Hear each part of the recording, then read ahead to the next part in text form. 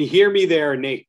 Yes, sir. Can you hear me? I can hear you. I can see you. Thank you for your time. My Uh, pleasure. Good day for you, aside from having to talk to elite media scum. yes.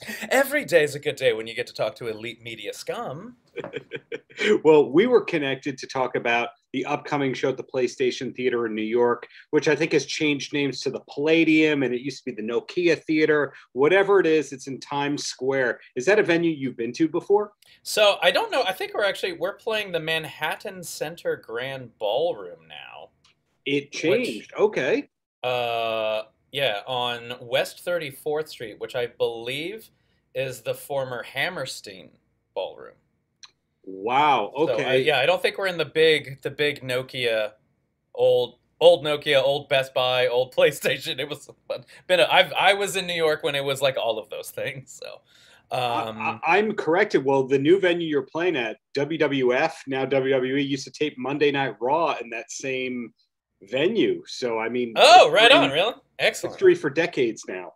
That's awesome. So yes, the Manhattan Center. Double checking my facts there. Well, that is a cool venue for a seated theatrical kind of presentation. Is that the average kind of venue on this tour, or is it sometimes the screen is over here and sometimes the screen is over there? So for us, it's more more the stage is basically our setup is always the same.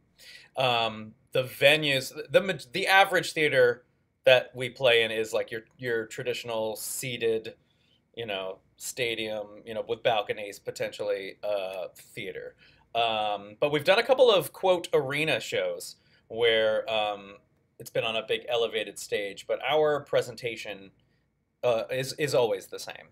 So the screen is always in the same spot. Is it that certain markets it's a stronger crowd, so therefore you can go the arena rock star level?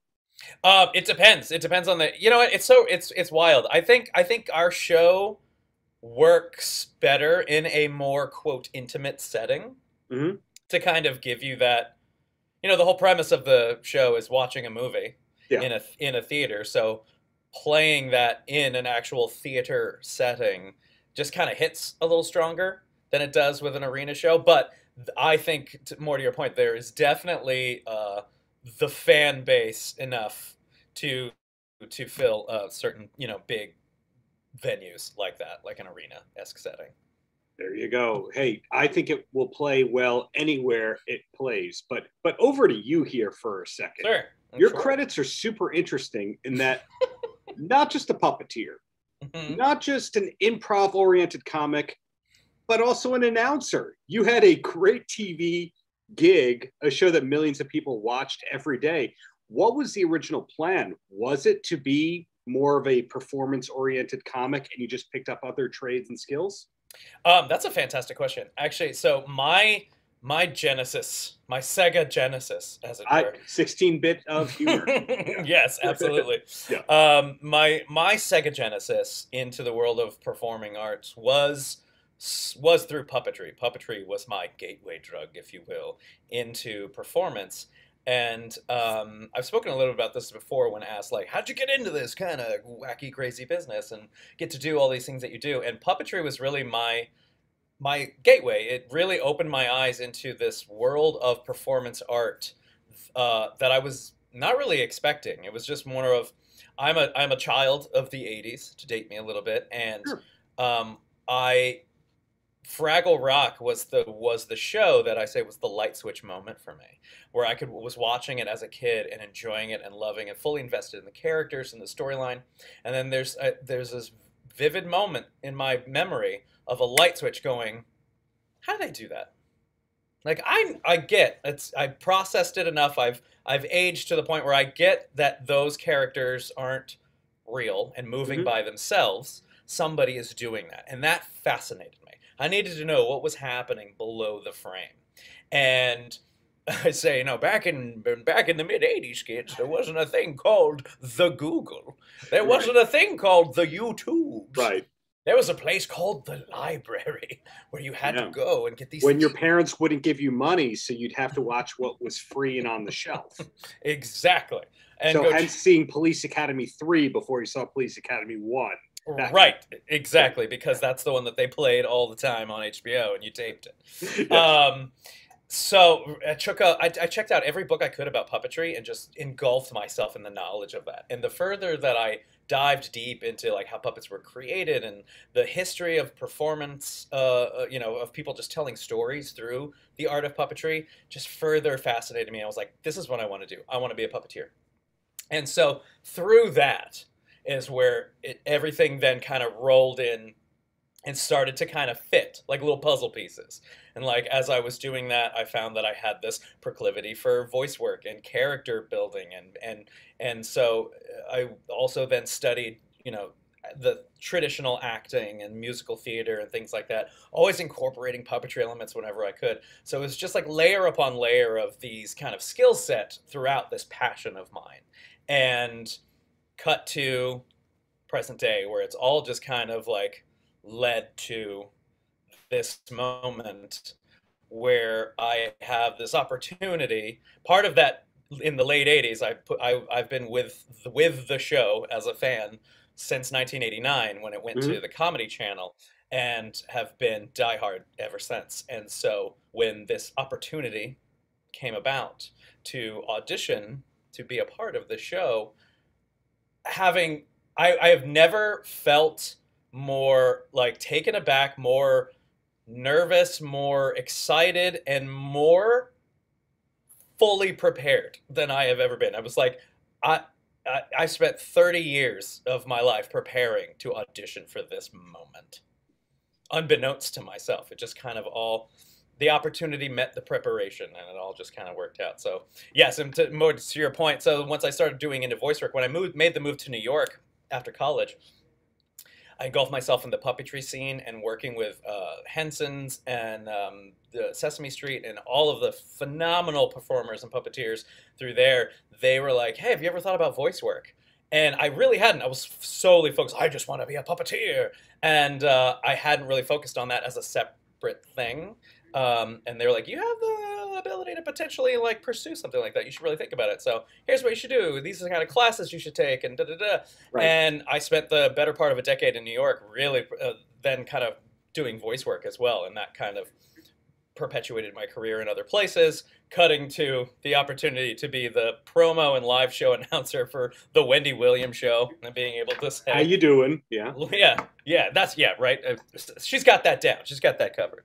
But uh, when they needed a live from New York City, That was you. that was they. There I was, so I was able to meet that too. So Well, yeah, it's it's a wild ride. It's been a wild ride for sure. You answered a lot right there, and something that I don't think everybody kind of realizes to ruin all the magic of puppetry is that sometimes the person doing the puppetry is not funny, and they're not doing the voice; they're just doing the puppetry.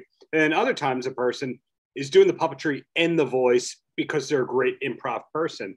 The Fraggles, I had to do a junket a week and a half ago, or rather, I got to do a junket with the the Fraggles folks. Yeah, And I was blown away at how quick witted they are and clean.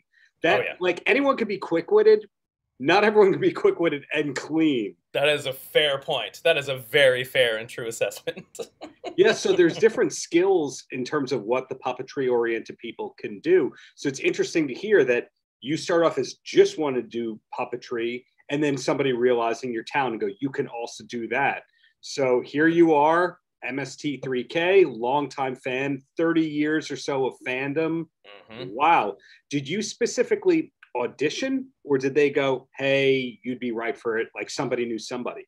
So yeah, so traditionally the show has always kind of been performed and uh, you know kind of cast in house, especially when it when it um, originated in Minneapolis with Joel and, and Mhm. his his group of uh, comedians and friends and stuff like that, and they put that together, and it's always kind of rolled in from there. Um, yes, like oh hey, you know what would be good, and then bringing in writers and, that they knew. Um, for this most for the the I was cast along with everybody here in our current cast uh, Mhm. on the Time Bubble tour. We were cast um, for the last tour just before COVID, um, the 2019-2020 uh, Great Cheesy Movie Circus Tour, and um, we that came about of bringing in all of these new cast members because this ver that new live version is going to be very different than what they had done previously. The last few live tours was very much a you know they really want to just take what it was done on TV and put it live on stage. So they brought out a big desk. They had the puppets and Joel and Jonah behind the desk interacting with it. And then, oh, we got movie sign. And then they would run behind the screen and create the silhouettes live on stage. The screen was right there on stage and presented as such. Funny story, a lot of people assumed, even though they were running around and doing the silhouettes live, a lot of people just kind of assumed that it was pre recorded. So they did, a lot of people didn't catch wise that they were actually doing it live. Mm-hmm cut to this new version uh, for the Great Cheesy Movie Circus Tour. Joel really wanted to bring the bots out from behind the desk. He wanted them to be more than you know just the half a puppet or have like Tom Servo sitting on the desk. He really wanted he wanted Crow to walk around. He wanted Crow to ride a unicycle. He wanted Crow to bounce on a pogo stick, and he wanted Servo to be able to fly around on stage. And so they developed uh, for this show of you know using working knowledge of stage puppetry uh, elements and illusions, if you will, and how to make these characters move and come alive on stage and really kind of uh, mask the performers a mm-hmm. little bit. Um, we kind of use a little uh, uh, uh, technique of black on black uh, puppetry. So we've created this little box that's a, basically a little tiny black box in the middle of the stage, and it's lit very specifically so that just the robots are illuminated, and we as the puppeteers behind them basically disappear. Mm. Um, and so that was a new thing for them to try. Um, so for that, there was a little bit of added puppetry elements, stage puppetry elements that the previous performers may not have been um, as adept at or or felt comfortable doing. Um, in addition to that, it was a very long tour. It was almost like six months of the tour the last time, and so there was a lot of oh, I can't do it for that long. Um, so they were like, okay, well, I guess we're gonna cast. They're gonna they held their first ever like casting for the show. Um, and yeah, it was one of those. They posted it in a lot of uh, the traditional places to cast for shows and touring shows right. in New York, in New York and uh, all kind of all over the country. And um, you know, and then a little bit of word of mouth, and people were like, "Ooh, hey, you know, it'd be good for this. Let's send somebody you think that would be good for this this casting." So I was thankfully anybody that spent more than five minutes with me in my lifetime knows how much uh, the show it means to me. So I got sent many times of people going, did you see this? Did you see they're auditioning for your show? Um, and so it was pretty amazing. So uh, to, to be thought of by many people to say, um, here you go, dude. This yeah. is this is what it's all been leading to. Um, and yeah, so that's how we all got cast. All of us as the new blood, the new cast got brought in through that casting process for the Great Cheesy Movie Circus Tour. And they liked us. They like us and they kept us around. And we've since been able to write for the new season coming up. The fans took a shine to us, thankfully, and we are now part of the new season as well as the live cast. So um, we're doing uh, a few episodes in the new upcoming season. We got to write on it. Uh, we also got to write on this show too that we're currently doing uh, on the Time Bubble tour, watching the movie Making Contact. Which have you ever seen it, Darren? Have you? I have not had the pleasure yet, and I'm looking forward to seeing it. Is it February 4th or February 5th? Um, my notes say February 5th at yes. the Grand Ballroom. That's when I'll be seeing it, huh? That's it. Saturday, February 5th, the Manhattan Center Grand Ballroom. That's right. Um, yeah. Uh, so good. Good on you. There's we've run into maybe three people who have seen this movie prior. Mm-hmm. There was a couple people that did it for homework, and we shamed them. We're like, "How dare you? Why would you do that to yourself?" Uh, but then there are others that are that were like, "Yeah, I watched it as a kid. I remember this movie from the '80s." And then there are people that think they saw this movie, but they realized, oh no, I actually saw a better movie that this movie was really trying to rip off of. Um, it's it's it's a wild ride. This movie is fascinating. Um, so you're in for a treat, my friend. Is what I'm gonna. Is what I'm telling you. And I'm proud of you for making the right choices in life, for not having watched this movie in your childhood thanks to to the series that you're part of, uh, I've seen more bad movies than I can count. But my, fair, same. My, but my but at least, but with the safety, with the safety net, like the MST has always been like that shield, yeah. like those you know strength in numbers. It's like that that like together we can get through this. You know what yeah. I mean? Solidarity. Yeah, for sure. There's definitely some movies that MST has had that you're like, I've tried to watch without the show, You can't. and it's it's you can't just can't, Can't do, do it. it. You shouldn't do it. Don't waste those brain cells. but my, my last thing that I want to know comes out of curiosity here Yeah. is with touring productions, there's always a specialist that can do anything. Like, for example, if you're a great accordion player, you have an accordion roadie on the road because why wouldn't you have a specialist setting up your stuff so you can then go sell the merch afterwards and do the meeting greets? Are there puppet techs, puppet roadies? Is that a thing? So, uh, yeah, traditionally, yes, there there typically are, depending on the production, the depending on the needs of of of the puppetry elements that are in it, um, and how they're designed, and like if something were to break, and like who you would have the skill set to to fix them. Um, so, uh, uh, officially, I, I myself am the quote puppet captain of the of the tour.